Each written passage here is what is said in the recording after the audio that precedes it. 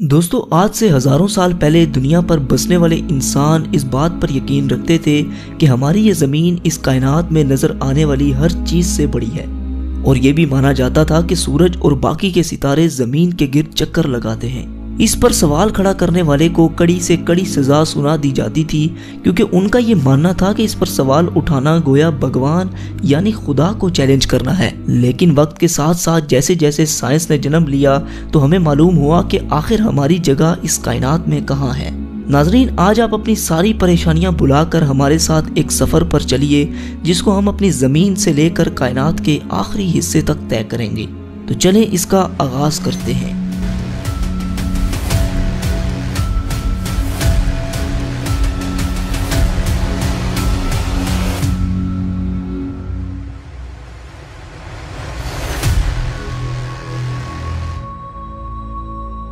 दोस्तों, अर्थ से करीबन 400 किलोमीटर ऊपर आने के बाद हमें कुछ ऐसा मंजर दिखाई देगा, जहाँ पर इंटरनेशनल स्पेस स्टेशन अर्थ के गिर चक्कर लगा रहा है। ये इंसानों का स्पेस में बनाया गया सबसे बड़ा स्टेशन है, जिसे आपने कई हॉलीवुड मूवीज़ में भी देखा होगा।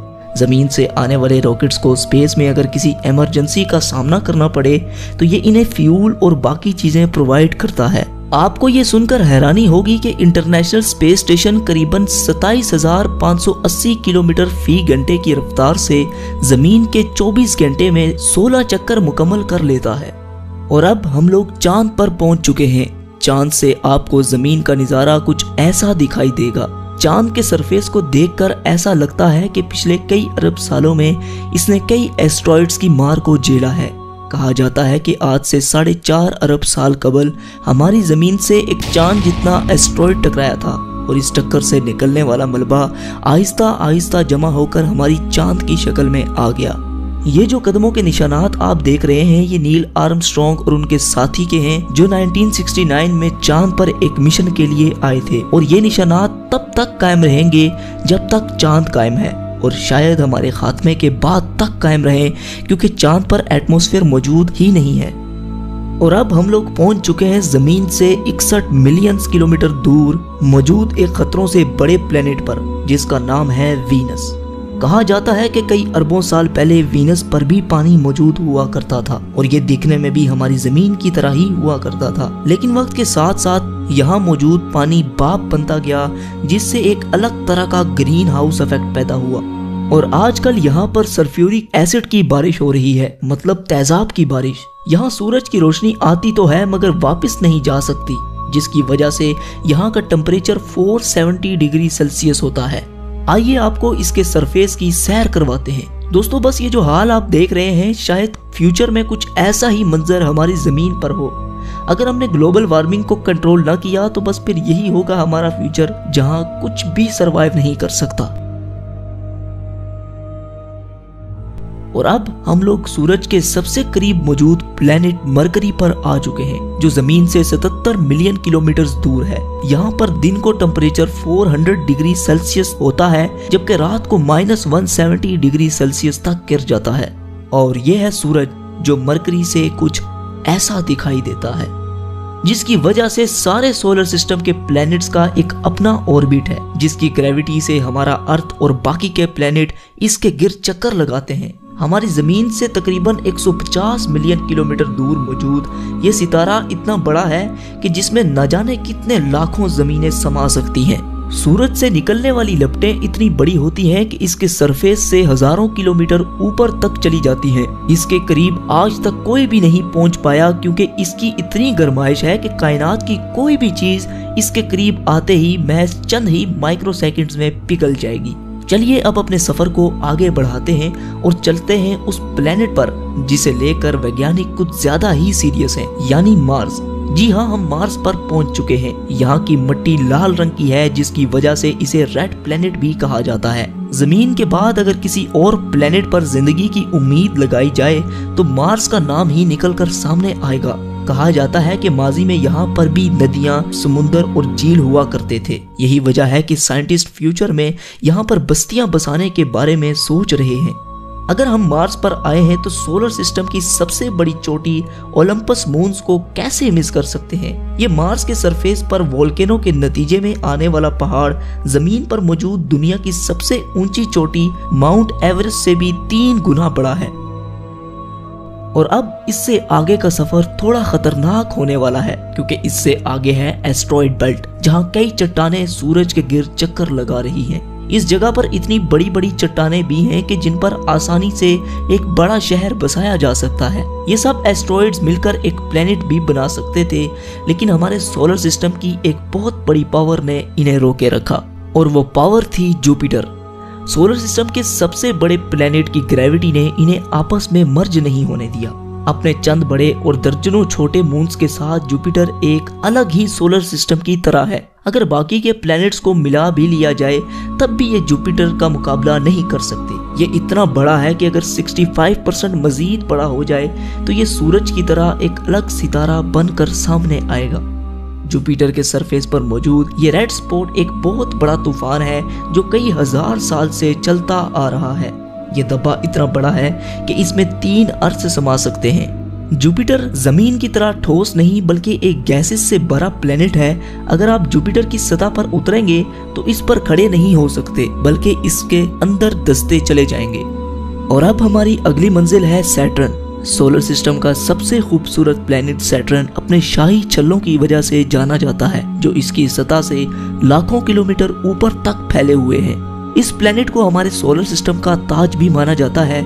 करीबन बासठ चाँद सैटर्न का चक्कर लगाते हैं। इनमें टाइटन सबसे बड़ा और एक मशहूर चाँद है। टाइटन का एक अपना एटमॉस्फेयर भी है और इसके सरफेस पर नदियाँ, समुंदर और झीलें भी मौजूद हैं, जो पानी के नहीं बल्कि नेचुरल गैस के हैं। बिल्कुल हमारे अर्थ की तरह नज़र आने वाले इस चाँद के बारे में अंदाज़ा लगाया जाता है कि जब कई अरब साल बाद सूरज एक रेड जाइंट बन जाएगा, तब टाइटन एक हैबिटेबल जोन में होगा, यानी टाइटन उस वक्त रहने के काबिल होगा।